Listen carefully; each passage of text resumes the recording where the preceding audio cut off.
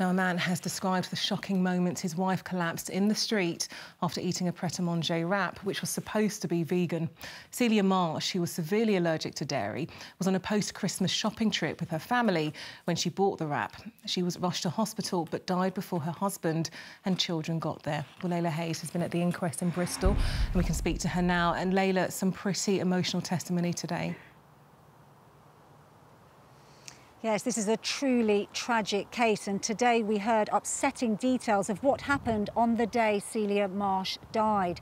She had a severe dairy allergy, and the inquest heard how the 42-year-old dental nurse religiously avoided all dairy products.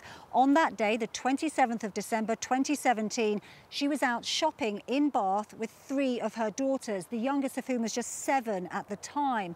Her husband, Andy, who came here today with their elder daughters, told the inquest that while out shopping, Celia bought a pret-a-manger flatbread vegan sandwich. And not long after eating it, she was struggling to breathe and then collapsed in the street. Now, sadly, Celia later died in hospital. The wrap she ate contained yogurt that was supposed to be vegan, but was later found to have traces of dairy in it.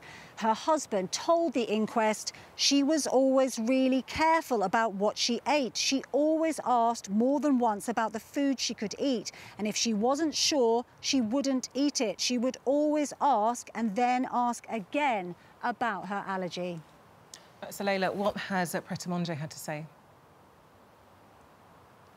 Well, after Celia's death, Pret-a-Manger was charged uh, with food safety failures, but the prosecution was later dropped due to a lack of evidence. Now, the chief executive of Pret-a-Manger was here today, and the company say that they will fully cooperate with this inquest. Celia Marsh's family say they simply want answers.